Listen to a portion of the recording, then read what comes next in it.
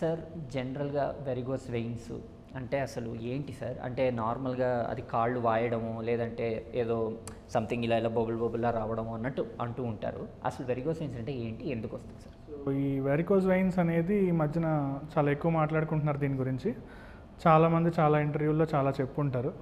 అయినా మళ్ళీ ఇంకొక ఇంటర్వ్యూ వారికోజ్ వెయిన్స్ గురించి చేయడానికి కారణం ఏంటంటే ఇంతమంది చెప్పినా సరే ఇంకా పేషెంట్స్లో చాలా భయాలు ఆందోళనలు అపోహలు ఇవన్నీ ఉన్నాయి.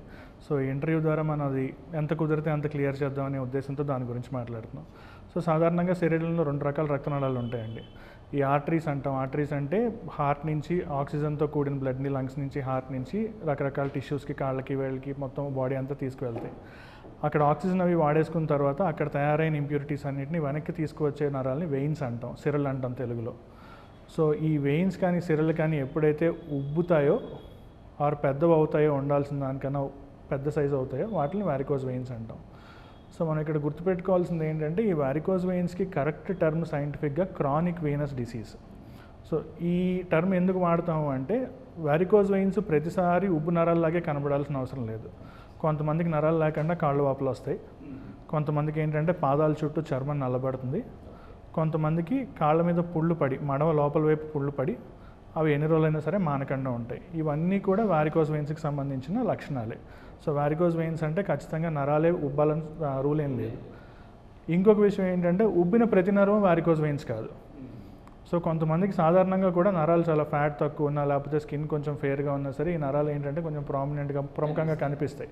సో కనిపించిన ప్రతి నరం వారికోజ్ వెయిన్స్ అనుకోకూడదు. నరాలు కనిపిస్తేనే వారికోజ్ వెయిన్స్ ఉన్నాయని కూడా అనుకోకూడదు. Okay sir.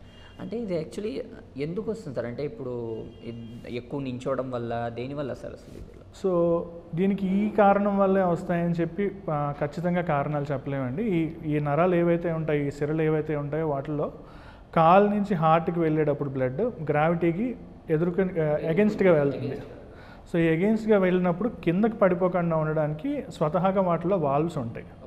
ఏ కారణం చేతనైనా కానీ అంటే కొంతమందిలో ఎక్కువ నుంచునే ప్రొఫెషన్స్ అంటే టీచర్స్ కానీ కండక్టర్స్ కానీ ట్రాఫిక్ పోలీసులు కానీ ఈవెన్ సర్జన్స్ కానీ వీళ్ళందరిలో లేకపోతే కొంతమందికి ఏంటంటే కాళ్ళలో రక్తం గడ్డ కడుతుంది. డీవీటీ అంటాం లేకపోతే సూపర్ఫిషియల్ వెయిన్ థ్రాంబోసిస్ అంటాం లేకపోతే కొంతమంది యాక్సిడెంట్ల తర్వాత కానీ ఆ వాల్వ్స్ డ్యామేజ్ అవుతాయి. కొంతమందికి ఈ ప్రాబ్లం స్వతహాగా కంజనెంటల్గా ఫ్యామిలీ పరంగా కూడా వస్తూ ఉంటుంది. సో ఆ వాల్వ్స్ ఎప్పుడైతే పాడైపోతాయో నార్మల్గా పైకి వెళ్ళాల్సిన బ్లడ్ కిందకి ఫ్లో అయ్యి రివర్స్ డైరెక్షన్లో ఫ్లో అయ్యి ఈ వెయిన్స్లో ప్రెషర్ పెరుగుతుంది. ఆ ప్రెషర్ పెరగడం వల్ల నరాలు ఉబ్బుతాయి సో ఈ నరాలు ఉబ్బడానే మనం వారికోస్ వెయిన్స్ అంటాం.